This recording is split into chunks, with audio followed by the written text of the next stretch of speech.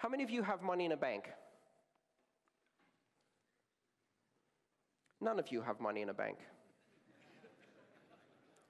Do you store physical money in a safe deposit box? Maybe then you could say you have money in the bank. Oh, a few people say that. The rest of you have loaned your money to a bank.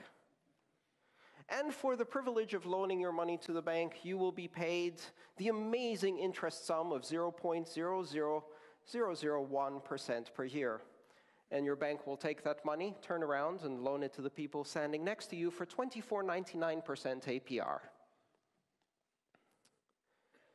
This is a client server relationship because that money only exists as a form of debt in a ledger that you do not control, a ledger that is stored by a server, and you are simply a client.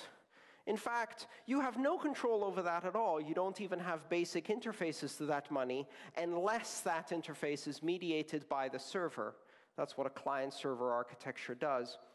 We have another term in distributed systems that describes a particular form of client server architecture where the secondary party only has a copy a weak copy that isn't really meaningful. We call that a master slave architecture.